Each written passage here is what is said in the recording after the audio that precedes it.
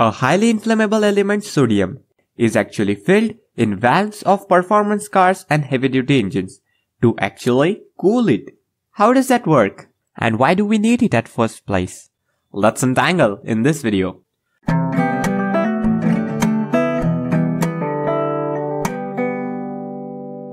Cooling of a combustion chamber of an engine is very important, not only to decrease the wear, but more importantly to prevent the hot spots in combustion chamber which may lead to knocking, which is very bad for engine life.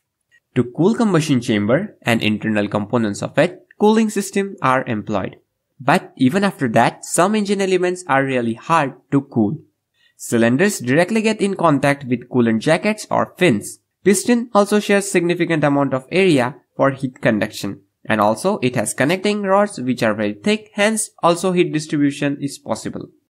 But valves, spark plugs or injector tips are the most hard components to cool.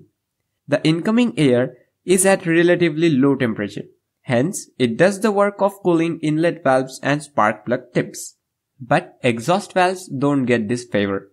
Generally, the valve construction used in engine is poppet valves. It has narrow stem so that it won't obstruct much airflow. The head of the valve faces the most heat from combustion and hence get heated up. Also the exhaust air is hot, so valve also gets heated from here. To dissipate all this gathered heat, it has only two surfaces. First of which is valve seat, which is very small area. That too is not always in contact, as when the valve is actuated, the contact breaks. Second area to dissipate heat is through the valve guide. It is the most effective path to transfer the heat.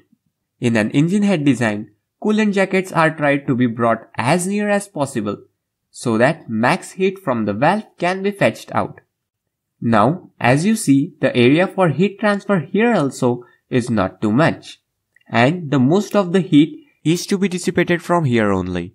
There are actually very limited number of materials which can be used to make valves as there are a lot of parameters to consider such as thermal expansion. Valve should not expand thermally, giving leaks. It should not bend due to repeated bashing for billions of reciprocations and should also withstand high pressures inside. When the valve material is selected for performance or heavy duty engine, which may reach high internal temperatures, Generally, steel chrome nickel alloys are used. These materials are good at all aspects, but their thermal conductivity with respect to temperature is very low. This raises an issue of hotspot on the valve head. To overcome this, sodium filled valves are required.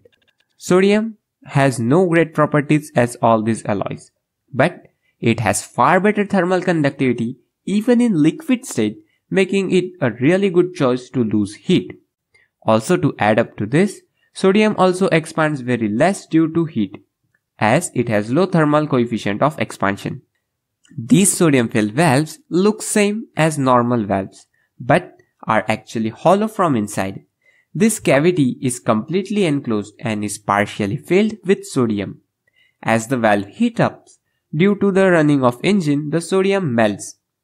Now, with each reciprocation, it splashes up and down. So when it's near the valve head, it extracts the heat. And when it is splashed above, it loses heat by conducting it through the valve guide.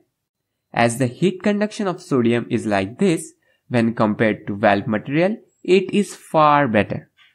So when the comparison is done between solid and sodium filled valves, these sodium valves are far cooler where this temperature difference can be 100 to 150 degrees Celsius, which is really significant. Sometimes the internal temperature raises so high that this sodium boils and vaporizes. It fills up this cavity. Even in this condition, the heat transfer rate by vapor of sodium is relatively good.